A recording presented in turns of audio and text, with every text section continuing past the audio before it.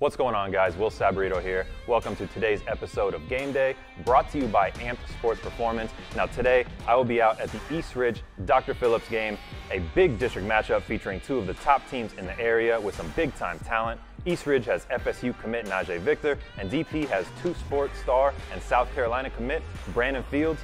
Stay tuned for coverage and highlights from that game. As always, you guys know, your sports, all you, all the time.